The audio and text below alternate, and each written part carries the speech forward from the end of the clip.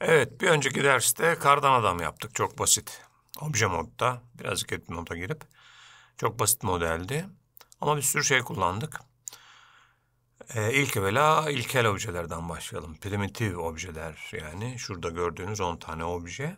Onları işlerken de buradaki last operation panel, son operasyon, son operasyon paneli denen şeyi inceleyelim. Blender'da ilk karşımıza çıkan default küp denen yani ilk varsayılan küp, varsayılan obje bir obje. Kamera ve ışık da birer obje. Aslında sahnede gördüğünüz her şey birer obje oluyor. Onlar e, şeyin içinde şu add menüsüne girdiğiniz zaman eklenen şeylerin hepsi obje. Biz ilk satırdaki mesh objelerine bakacağız. Yani kafes nesnelerine. Kafes nesneleri temel nesneleri modellemenin, Blender'daki modellemenin. Bunun altında curve, surface, metabol, text var. Text'e daha erken gireceğiz. Şunlara biraz sonra bakarız. Çok acil değil. Volüm yeni çıktı. Aşağıya doğru indiğimizde işte light ve kamera var, empty var, image var. Yani bu nesneler var ama şu anda modellemeye girmek için bize lazım olan mesh objeler ve mesh'in üzerinde durduğumuz zaman e, şuradan şeyi unuttum açayım. Screencast keys. Evet açıldı. Rengi de biraz şey sanki. Çok göze batmasın demiştim ama öyle de iyi olmuyor gibi. Şimdi e, add obje'den yani obje modda, ekranda add'de, mesh'te şu 10 tane obje. Plane, küp, circle, UV sphere, icosphere, silindir, nasıl okunuyor bilmiyorum. Cone, torus, grid, monkey. Şimdi bunlardan birer birer ekrana atıp atıp inceleyeceğiz. Attıktan sonra da bahsettiğim Last Operation panel. Bakalım 15-20 dakika için sığdırabilecek miyiz? Bunu seçip önce X ile kapatıyorum. Şuradan kamera ve ışığı da oradaki göz ikonuna basıp onları da görünmez hale getirdim. İstersem şuradan ekstrası kapat dediğin zaman da kapanır onlar. Kaldı bir tane bana 3D kursör. Bu 3D kursör artık iyice alışacağız. Üç boyutlu bir kursör bu arkadaş. Böyle bir hep bize bakan bir çemberi var. Yeni obje attığımız zaman ben atmak dediğim şey e, ekrana yani 3D viewport'a bir nesne eklediğim zaman, bir obje ekledim, no, obje add ettiğim zaman objenin orijinini buraya denk gelecek şekilde atıyor tak diye ve şeyi göstermiştim. Shift ile sağ tuşu kliklediğin zaman istediğim bir yere atıyor bunu. Onun da kuralları var. Ayrıca 3D kursör diye bir derste işleriz ama şimdilik bize bu kadar yeterli. Merkeze gelmesini istiyorum. Shift S ile bu pay menü açıldı. Kursör to World Origin dedim. Dünya merkezine geldi. Şimdi Add menüsünden atabildiğim gibi nesneleri ekleyebildiğim gibi Shift A ile o menü aynı et menüsü böyle yüzer bir şekilde kursörün olduğu yerde açılıyor. Böyle. Oradan da e, objeleri ekleyebiliyorum. Bir de şurada bir arkadaş var. E, yeni dinamik obje ilave etmek için bir e, menü. Şimdilik beş tane var. Hmm, bu daha önce bir ara bir göründü, kayboldu. 2.92'de çıkacak dendi. İlk e, çıkar çıkmaz çıkmadı. e, yeni çıktı. E, bu dinamik bir şekilde atıyor. Tamamen ayrı bir ders konusu. E, onu için ayrı bir ders yapayım ve muhtemelen daha da gelişecek o ileride. Ben şuradaki Select Box kutusuna bu tuğla basıp artık başlayayım. Shift A ile birinci nesneyi plane'e bastığım zaman gördüğünüz gibi buraya bir tane e, kare attı. Bu kareyi atar atmaz da şurada bir tane add plane diye bir e, yazı göründü. Onu tıkladığım zaman açılan bir menü bu. İşte bunun adı last operation menü. Burada son attığım objeyi daha da doğrusu son yaptığım operasyonu bu bir move scale yani hareket ettirme, ölçeklendirme, rotate, döndürme işlemi de olabilir. Onunla ilgili bir işlem yani bir şeylerini onun değiştirme, parametrelerini değiştirmemi sağlıyor. Bir operasyon daha yaparsam üstüne artık bu gidiyor. Buna bay bay.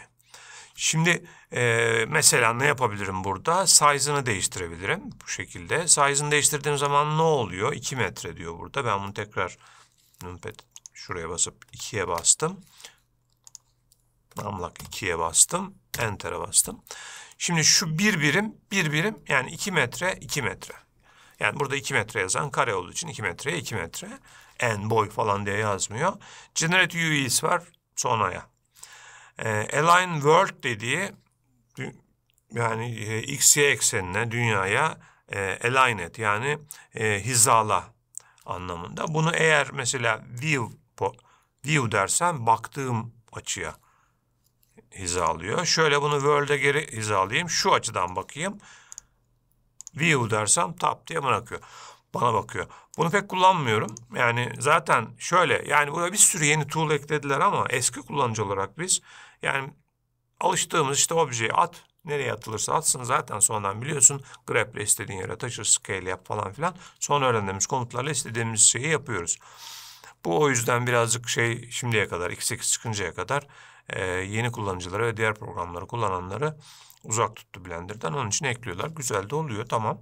E, alışırsanız kısa yollarla, geleneksel yollarla e, modelleme yapmak çok daha hızlı.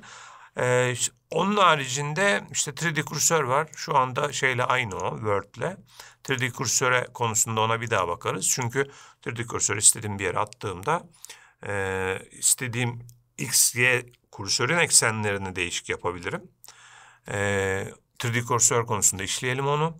Onu da geçiyoruz o yüzden. Word'la aynı şimdilik çünkü birbirine paralel.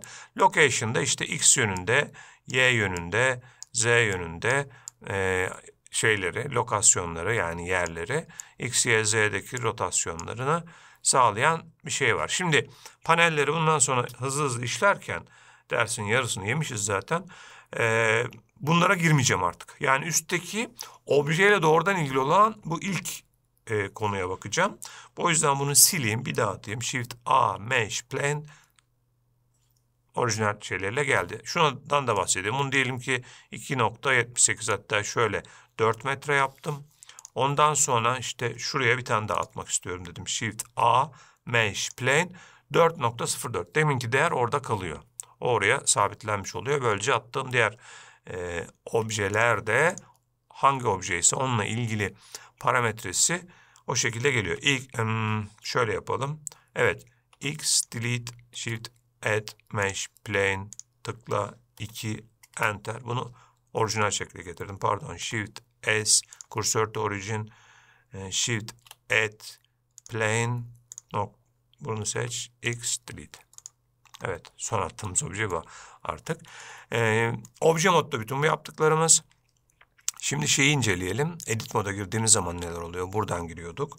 Şuradaki mod, e, mod penceresini obje moddan edit moda getirdiğimiz zaman şuralarında şöyle noktalar oluyor. Bu noktalar daha iyi görünebilmesi için ben edit preferences'tan e, şu tik yapayım çizgileri ki şöyle kalın kalın görünsün. Noktalar da büyük görünsün. E, vertexlerden oluşuyor. Düğüm noktalarından ve içi bu kapatılmış durumda.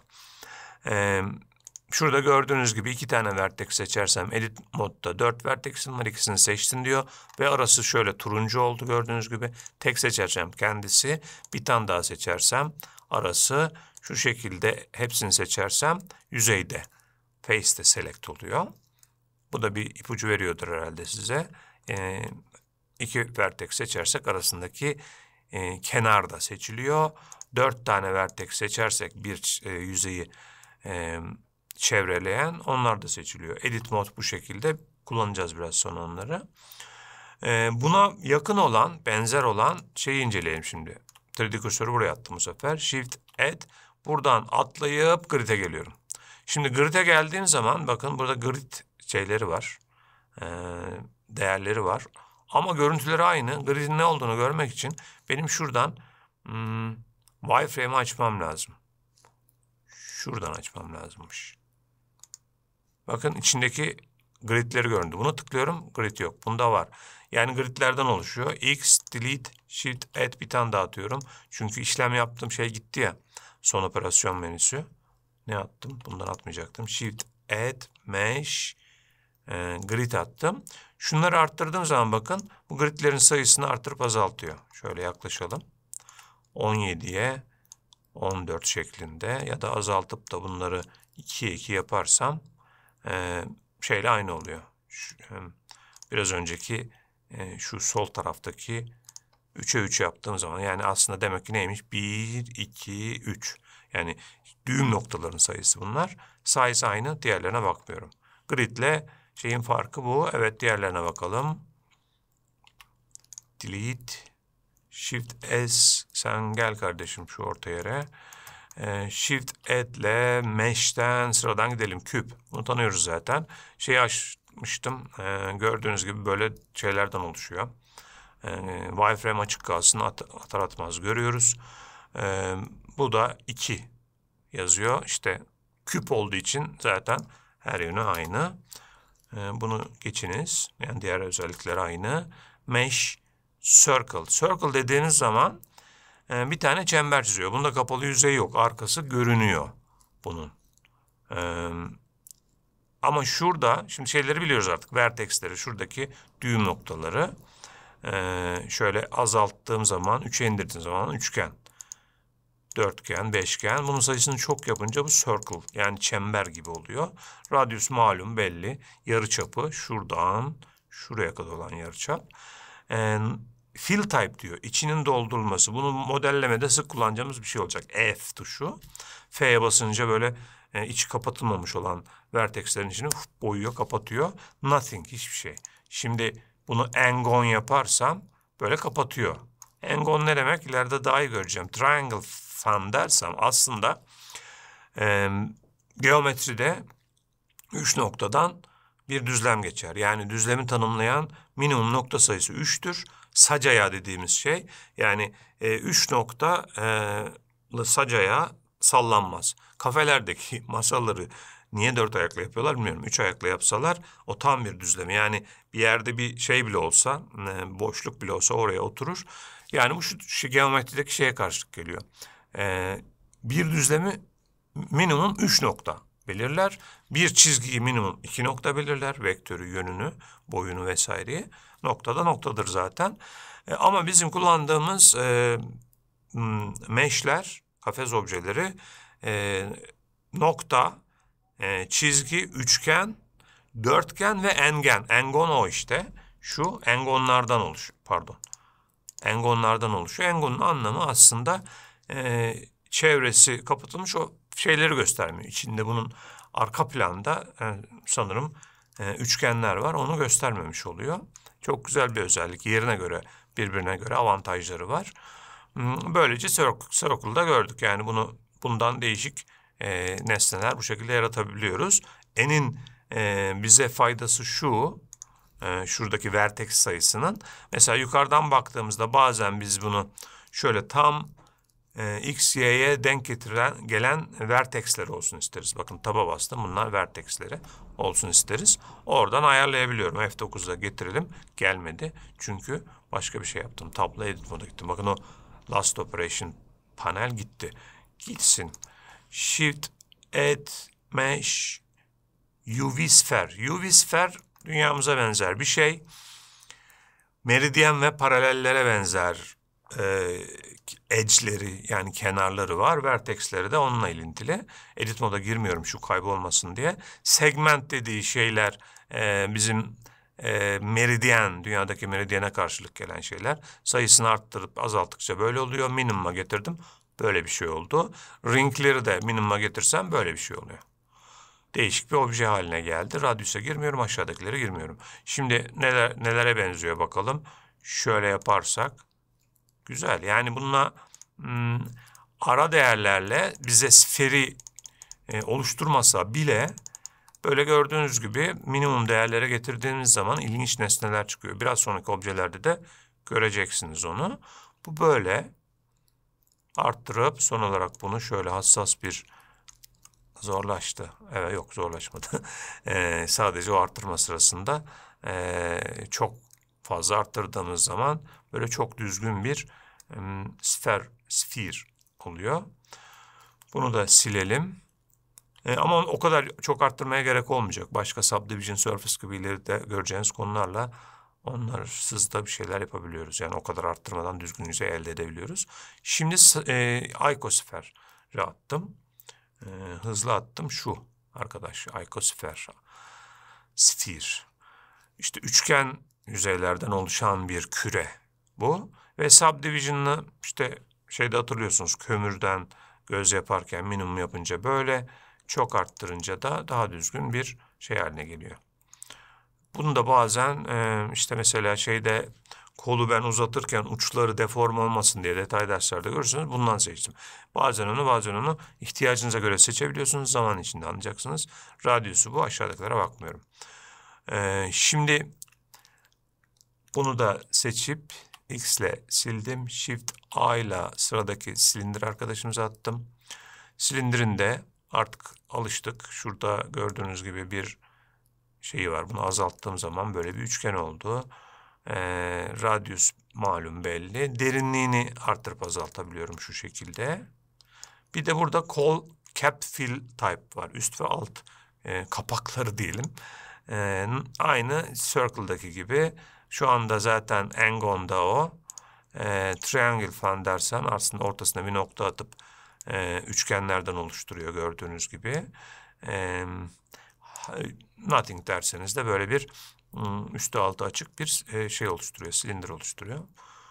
Bu da bu kadar. Shift A sıradaki cone. Konu da havuç burun için kullanmıştık. Vertexlerini azalttığımız zaman böyle bir piramit oluyor. Bir tane de arttığımızda daha çok Mısır'daki piramitlere benzedi. Dört kenarlı. E, depth'i azalttığımızda daha da bir benzedi. Şöyle çünkü onların şekli böyle sivri değil. Üstte hatırlarsanız e, loop cut bir iki ders sonra olacak. Loop cut atabilmek için çevresini şöyle kesebilmek için ucunun da delik olması gerektiğini söylemiştim. İşte ucu dediğim radyus 2 onu şöyle arttırdığım zaman yukarıya radyus atıyor. Kenar 4 yaptığım için bu kare gibi oldu ama aslında kenarları çok arttırırsam işte yukarıdaki dairenin yarıçapı radyus 2, alttaki de öyle. Engon yine öğrendik. Nothing dersem böyle bir e, huni oldu. Gerçek bir huniye dönüştü. Triangle falan dersem yine üçgenlerle kapattı. Evet sana da bay bay konu. Shift A mesh con. Evet torus çok güzel bir nesnemiz ve burada güzel bir özellik eklemişler. Büyük ihtimalle bunu diğerlerine de ekleyecekler. Ee, preset. Şimdi mesela bunu bu torus simite benziyor. İşte İzmirliler gevrek diyor buna. Fransızlar sörn diyor. Cern. Ee, şimdi biz denizlerde gevrek diyorduk eskiden ama şimdi biz de simit demeye başladık. Neden bilmiyorum. Ee, buradaki şeyleri oynadığınız zaman major segments, major segmentleri dediğine bakalım. Ha bunlar şeylermiş. Yani dilimler, şöyle kestiğimiz dilimler azaltalım. Böyle. Minör segmentlerde e, dairesel merkez e, simitin merkezine yani torus'un merkezini merkez alan daireler. E, bunları minimum yaptığımız zaman nasıl bir ilginç şekil çıkacak bakalım. Böyle bir ilginç şekil çıktı. E, dimension mod e, şey demiş majör minör. Bunun ne olduğunu hakikaten bilmiyorum. Exterior interior. Yani iç, dış ve iç ya da evet ikisinin birbirine oranı ile ilgili olması lazım. E, major radius. İnceleriz onu. Ama şurada yaptığım şey yani oraya hiç ihtiyaç olmamıştı. E, 4 segment yapıp şunu da 5 ee, segment yaptığımızda böyle pentagona benzer bir şey oldu. Esas burada bahsetmek istediğim şu. E, artıya bastığım zaman burada ve buna pentagon dediğim zaman e, ve okey dediğimde artık böyle bir e, yeni bir şeyim var. Restore dedim eski haline geldi ama artık bu pentagonu kullanabiliyorum. Yani bu ne demek? Başka bir nesne atayım. Shift A plane attım. E, grep'le şuraya bir yere koydum. Şuraya da pentagon atayım bir tane. Shift A e, torus yok şöyle restore en sonda kalsın. Şuraya Shift A torus burada olmayacaktı. Grab. Şuraya Shift sağ tuşla 3D kursörü buraya aldım. Shift A torus. evet sonunda torus attı. Yani e, bunu artık o biraz önce kaydettiğim pentagon haline getirebiliyorum e, buraya geldi. Demek ki merkezini de kaydediyormuş. Bunu yeni eklediler. Aslında ben buraya atmasını beklerdim. Evet burada bir pürüz var. Yani buraya atmadı. Merkez tabii yok yok hata değil olur mu? Shift A e, pentagon dediğim zaman torus'ta pentagonu seçtiğim zaman şunları da e, kaydetti. Bunları da kaydetti. Yani buradaki operation güzel. Operation e, paneldeki her şeyi şuradaki operator e, presete a, kaydediyor. Tamam. Diğerlerine de eklerlerse güzel olacak. Şöyle A ile hepsini seçip X'te sileyim. Shift S ile kursörü dünya orijinine getireyim. E, uzadı ders. Shift A ile son e, grid'i atayım. Grid'i görmüştük. Grid sileyim.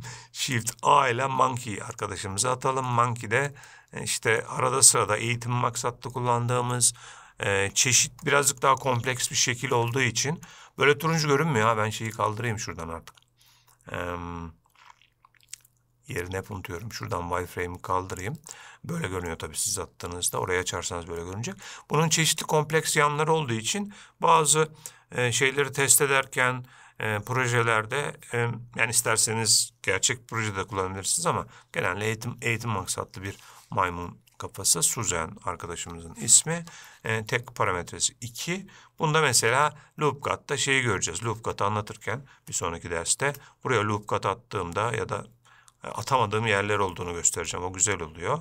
Mesela atamadığım yer. Evet mesela şurada kaldı loopcut. Loopcut da böyle bir şey. Hadi bakalım loopcut'ta da gidiş yapmış olduk. şeyden sonra. Bundan sonraki dersten sonra yapacağız onu. Çünkü snap yapacağım bundan sonraki derste. Tamam. O derste görüşelim. Bye.